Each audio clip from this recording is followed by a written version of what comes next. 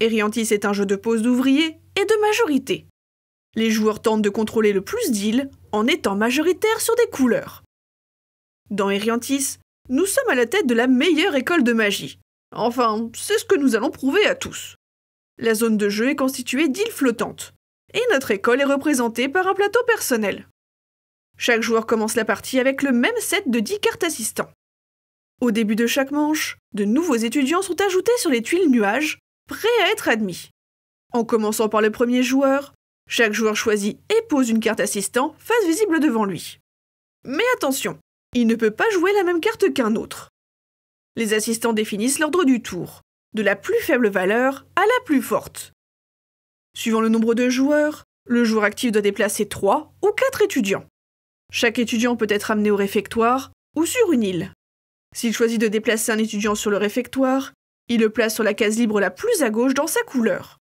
S'il est majoritaire dans cette couleur, le joueur récupère le pion professeur correspondant. Lorsqu'il a terminé, le joueur déplace Mère Nature dans le sens horaire. Le nombre de cases maximum est indiqué sur sa carte assistant, mais il peut s'arrêter avant. L'île sur laquelle il termine son déplacement est décomptée. Chaque joueur compte le nombre de pions qui correspondent à ses professeurs, et celui qui a le plus de points gagne le contrôle de l'île.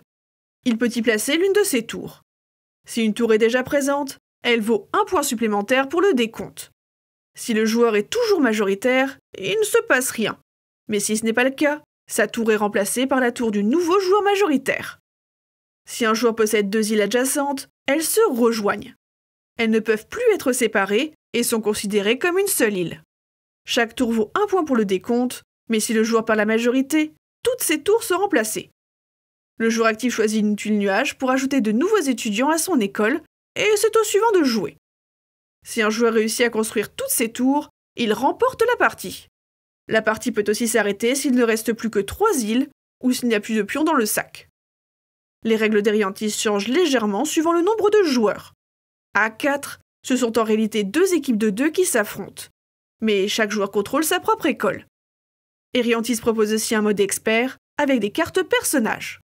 À tout moment lors de son tour, le joueur peut payer pour activer les capacités d'une carte. L'argent s'obtient lorsqu'un étudiant est placé sur certaines cases du réfectoire. Pour conclure, Eriantis est un petit jeu de draft et de majorité abstrait où rien n'est définitif.